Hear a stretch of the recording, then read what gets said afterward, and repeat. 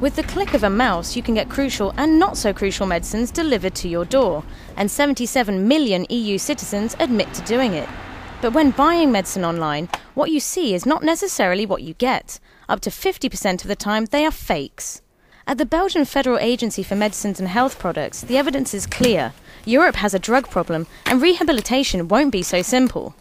Si on compte qu'on a à peu près ici euh, 3000 colis postales, le résultat d'une transaction Internet, euh, ça veut quand même dire qu'on n'a pas vu la fin euh, de ce fléau-là. A European law is in the works to stop this scourge, but the Commission failed to include the Internet in its proposals. A parliamentary committee sought to remedy this with a report on the matter. Rapporteur Marisa Matias proposed other ways to fight the online fakes.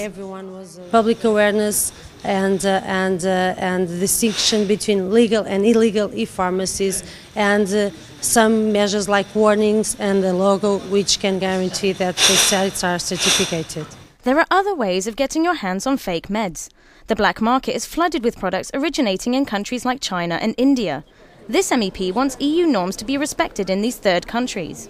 Les inspections doivent être importantes, y compris les inspections dans les pays extérieurs à l'Union européenne qui fabriquent des médicaments et nous devons à ce moment-là exiger qu'ils respectent les normes européennes que nous exigeons pour les laboratoires qui fabriquent en Europe. These proposals were all adopted by the committee today and will now face the rest of the MEPs during the plenary in June.